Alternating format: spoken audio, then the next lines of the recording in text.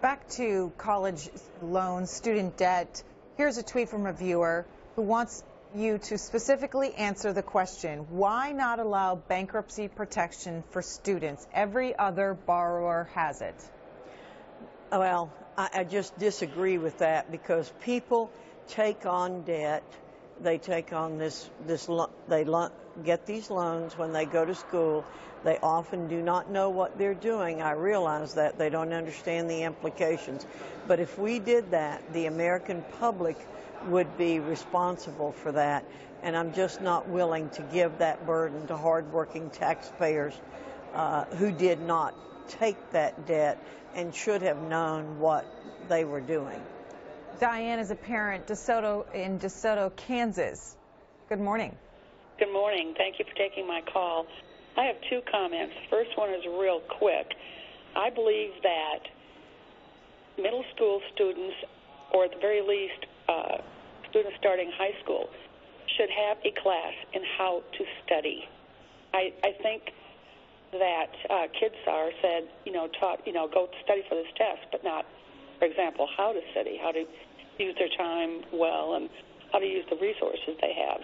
That's number one. Number two, with regard to elementary school, I've got a sister who's a teacher, and I know a lot of teachers. And when I talk, they continuously tell me about problems some of the students might be having outside of school.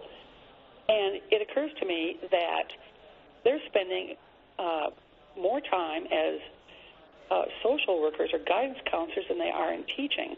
They need more, in my opinion, social workers and guidance counselors in school to help uh, with troubled students, especially in the elementary grades, to take some of the burden of that off of the teachers.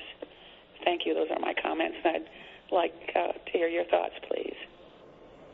Um, Diane, uh, deciding on the curriculum in your local schools is the responsibility of the school board in your in your system. If when we allow the federal government to dictate curriculum, we are going in the wrong direction. So I would encourage you to talk to your local school board, your local superintendent, and say to them what you've said here that you think study skills should be taught as a course in the middle school. I agree with you that many students do not know how to study. On the issue of social workers, I think probably most schools have social workers now. Unfortunately, that is a dominant issue that's occurred. I know even in the schools in North Carolina uh, that I represent, most of them do have social workers. And that goes back to something we talked about early on. It, it should not be the role of the government to take care of the issues outside the schools, that should be something done by the parents and by other agencies. But unfortunately, the schools are being burdened with that. Uh, we have a lot of problems in our culture in general. We have many, many children being born out of wedlock. In fact, a, a majority of groups in our culture are being born out of wedlock. There's only one parent there. We all know how difficult it is to raise children with two parents, but with one, it gets particularly difficult. So we, we need to, to look at the values that our culture has in general and think about those and what impact they're having long term on our society. Congresswoman, what about high quality universal pre-K to reduce the achievement gap in this country? That is what the Center for American Progress, liberal think tank here in Washington, says should happen. They say this, that compared to their white peers, African American and Hispanic children are anywhere from 9 to 10 months behind in math and 7 to 12 months behind in reading when they enter kindergarten. These achievement gaps are concerning. Math and reading abilities at kindergarten entry are powerful predictors of later school success, and children who enter kindergarten already behind are unlikely to catch up. Moreover, in the past 50 years, minimal progress has been made toward reducing these achievement gaps. Well, I, I, would encourage you to quote some conservative think tank occasionally when you're quoting statistics like this. Those are broad, general statements which are not held up by research. We've had Head Start programs, I think, since 1965, and the research clearly shows that Uh, the students are helped at the beginning of their career in education, maybe first or second grade, and then all of that benefit goes away.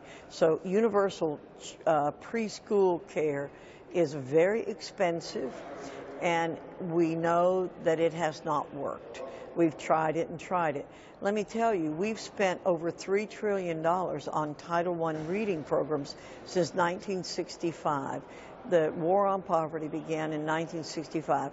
We have not changed the achievement level in reading in this country one bit after the expenditure of over $3 trillion uh, in the last 60 years, or maybe even more. So it isn't money that will solve this problem, and it isn't more government programs that will solve this problem. It is the involvement of parents and parents and students themselves taking the responsibility for their educations.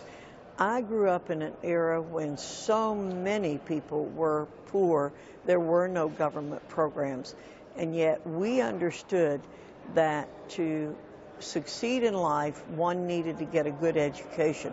And I grew up in a house with no electricity and no running water. You don't find people like that anymore in this culture. And uh, many of my co- friends were like that. So again, it's a cultural issue that we're dealing with, not a monetary issue.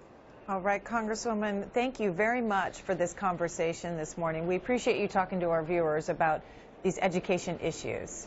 Thank you very much for inviting me. And bless everyone who called. It was a good representative um, segment. Thank you.